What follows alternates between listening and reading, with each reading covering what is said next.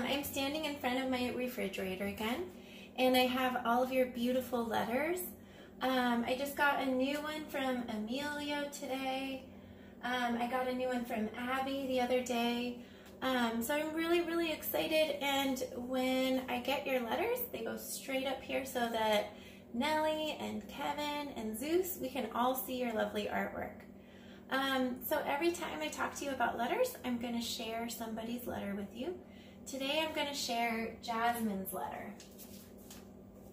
So here's Jasmine's letter, and it says, Miss Kegley, I hope you are doing well.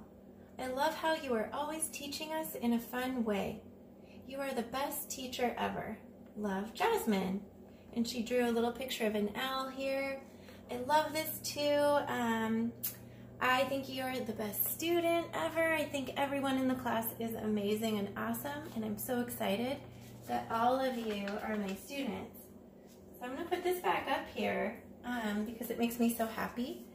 And I also want to talk to you guys about how to address an envelope.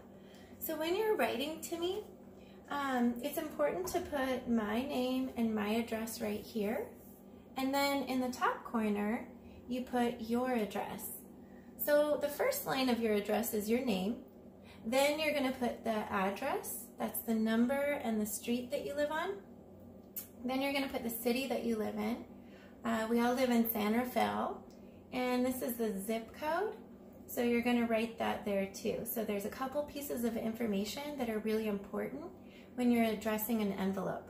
So your address goes here, my address or the person that you're writing to goes here. That tells the mailman where it's supposed to go. And then up in the top corner, that's where you're gonna put your stamp. So I want you to work really hard on addressing your own envelope, okay? That's my challenge to you.